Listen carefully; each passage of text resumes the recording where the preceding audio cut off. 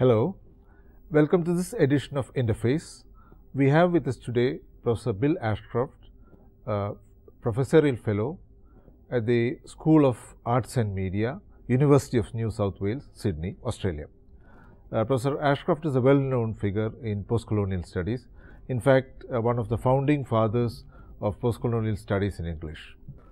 Professor Ashcroft, uh, probably what the what most of uh, the students or teachers or research scholars who listen to this program would like to know is mm. what has happened since that book of yours got published, the monumental work, The Empire mm. Writes Back. Mm.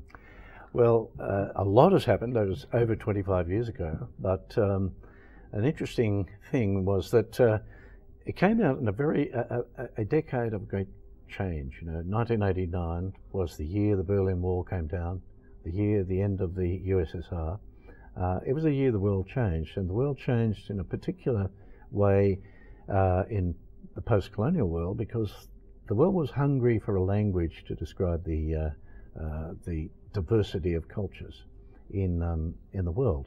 So, what uh, what happened was that at the same time as uh, post-colonial theory began to emerge, globalization studies began to emerge in the early 90s, um, issues of cosmopolitanism.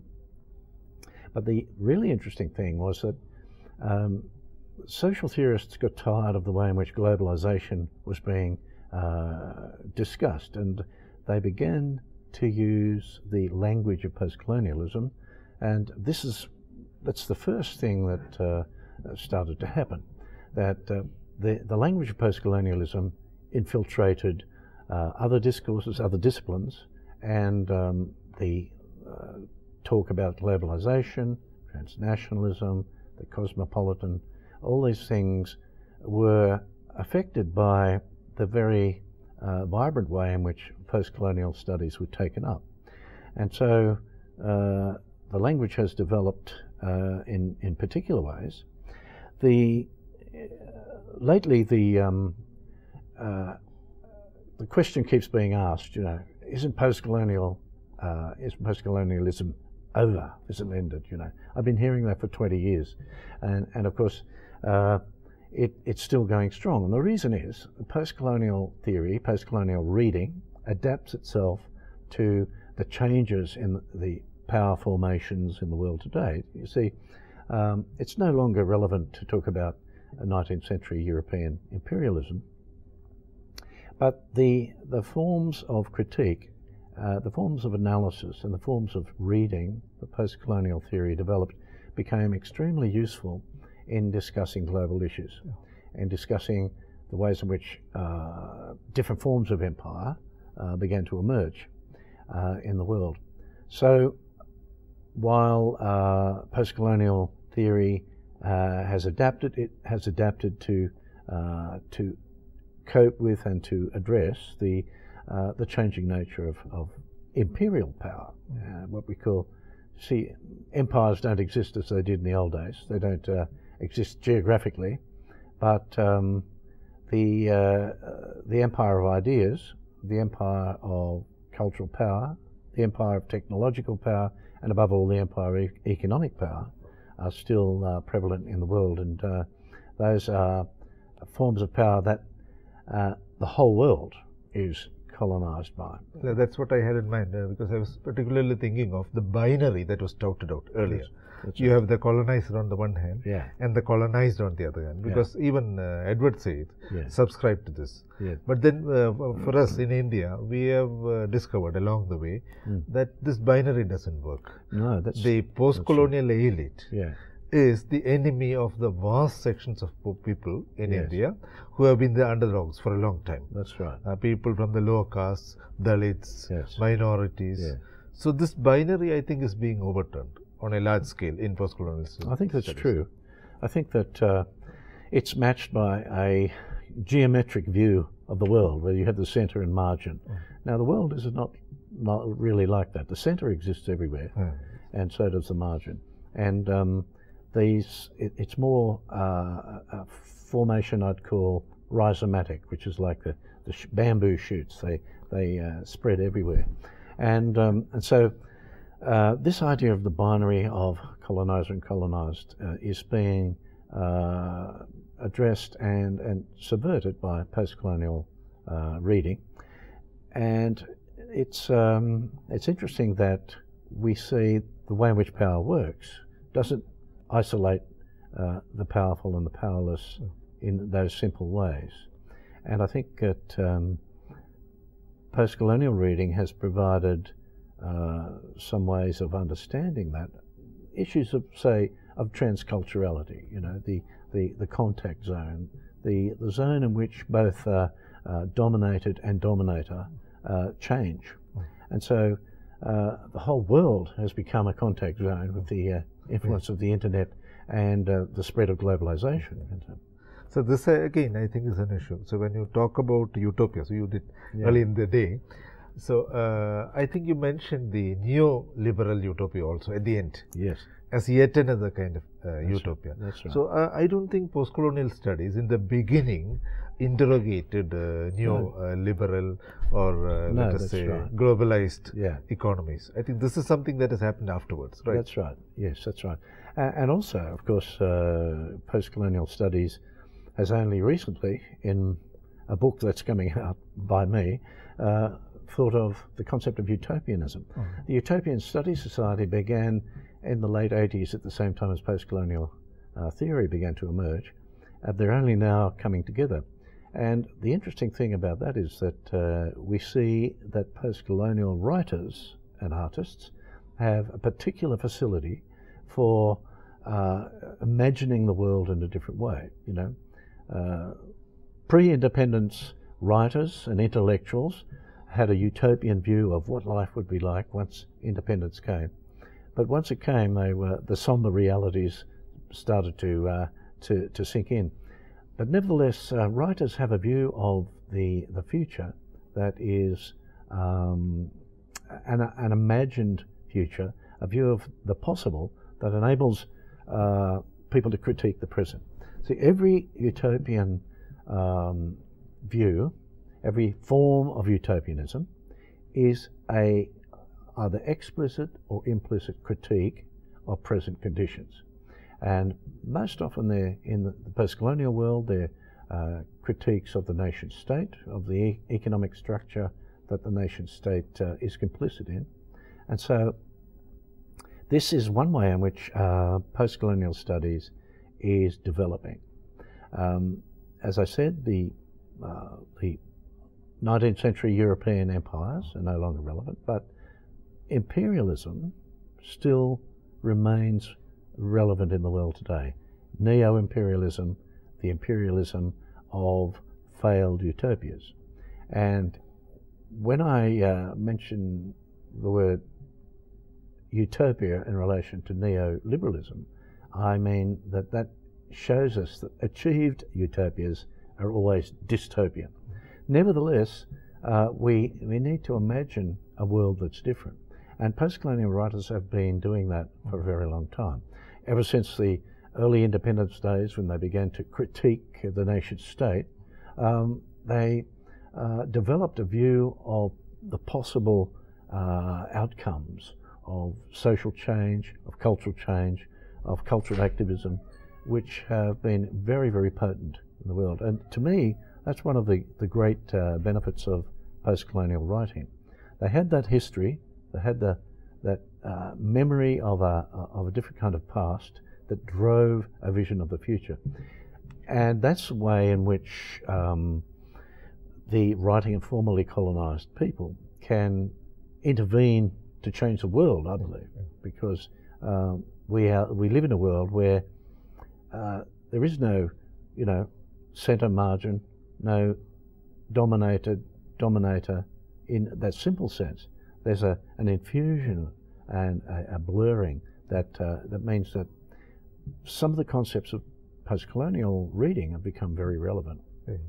So uh, I was also thinking of uh, what happens if uh, you don't have a utopia to imagine. Uh, is imagining a utopia central to human cultures?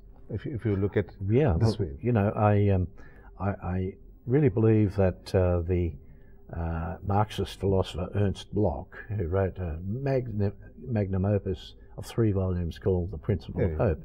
And he starts with the view that imagining the future, of looking forward, is fundamental to human life. And so, whether it's explicit or not, a critique of the present, uh, there is always a, an imagining of a different kind of world. Now, this is particularly interesting in Indian writing.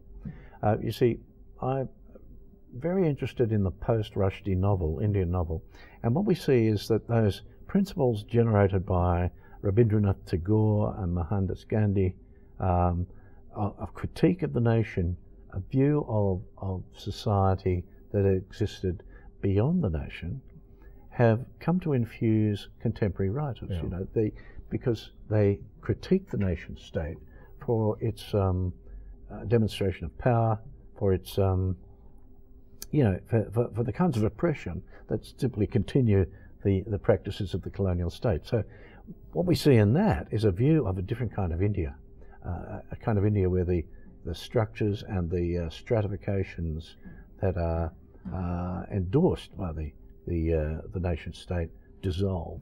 So, in their writing, which critiques the nation state, there's a view of a different kind of India. Yeah.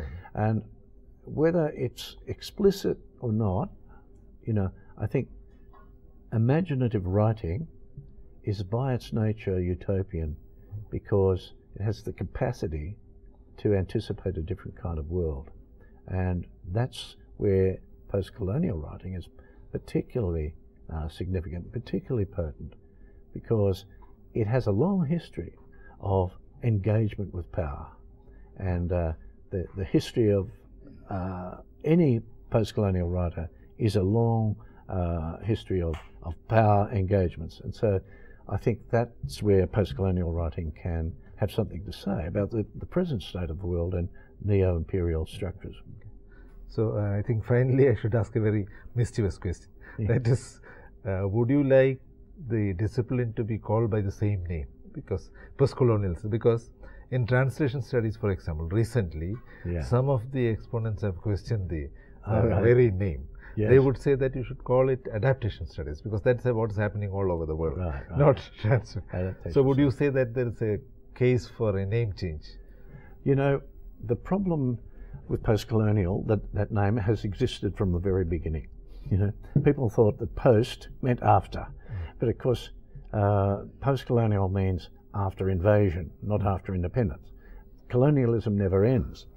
But in the sense that uh, the problem with uh, the name has been part of the vitality of uh, post-colonial studies. People who call themselves post-colonialists begin by critiquing the field and say, well, we need a, another term. But somehow the term won't die, and the reason is post-colonial readings have adapted themselves to all forms of uh, transnational, world, global uh, formations of power. And diasporic, you know, uh, movements. These are all uh, accessible uh, to the um, the operations of post-colonial reading, and so you know I have no particular investment in maintaining the name, but I think uh, it just seems to hang on, you know, and it, there must be a reason for that, and I think the reason is that that field, post-colonial studies, is itself so adaptable and its capacity to read the operations of power so um, so capable of adapting to different uh, conditions.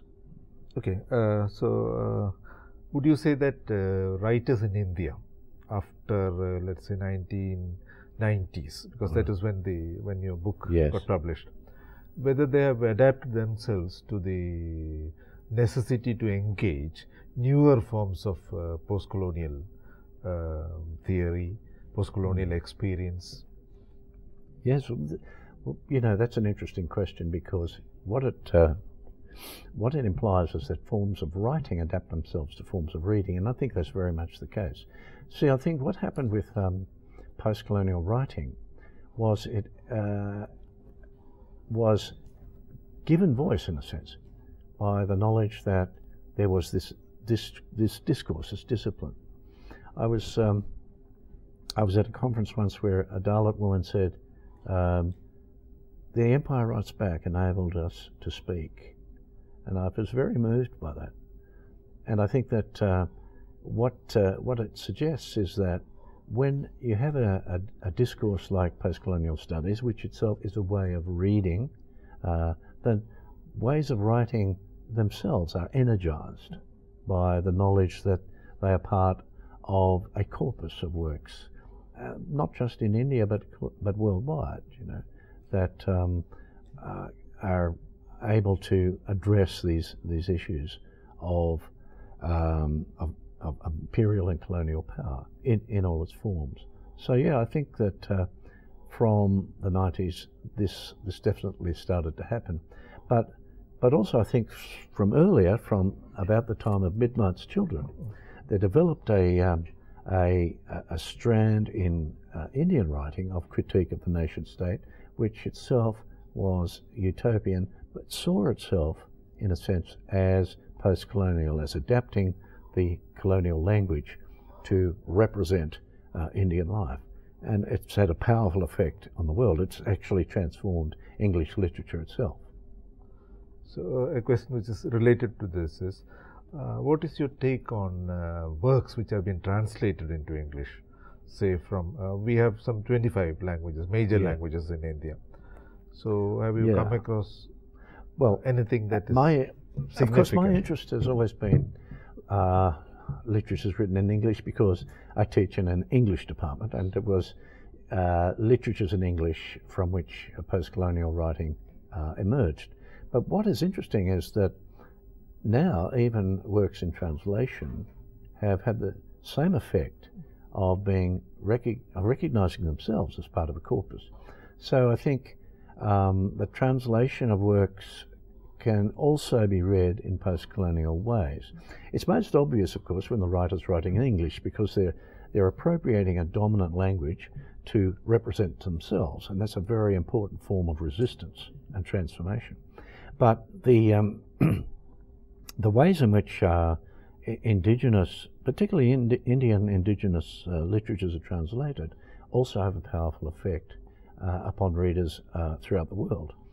But there's an interesting um, case in which uh, Malayalam writers uh, became, be, because they became exposed to English literature, began to develop a Malayalam literature, which has kind of faded out. So it's a, a curious thing that, uh, you know, the, the presence of uh, writing in English actually encouraged Malayalam writers to develop uh, an indigenous literature.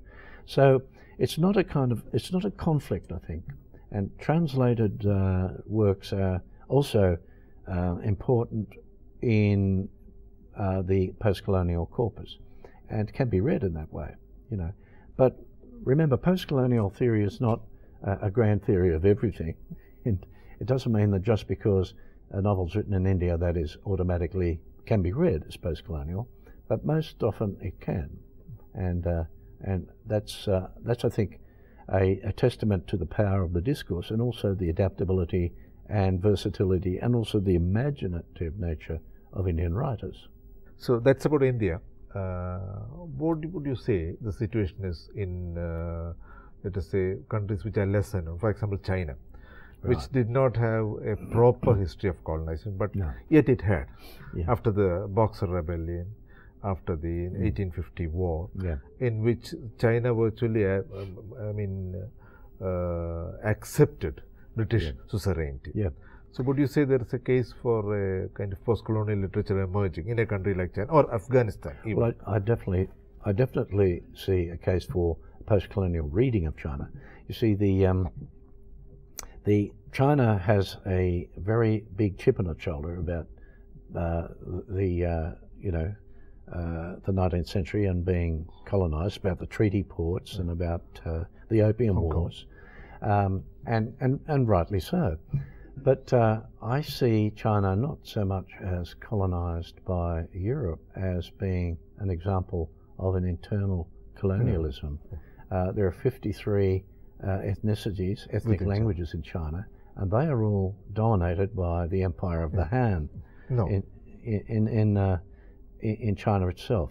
And so I think that this is where it gets interesting that you can see a post colonial uh, literature emerging uh, in ethnic languages, but even more in languages written in uh, Putonghua.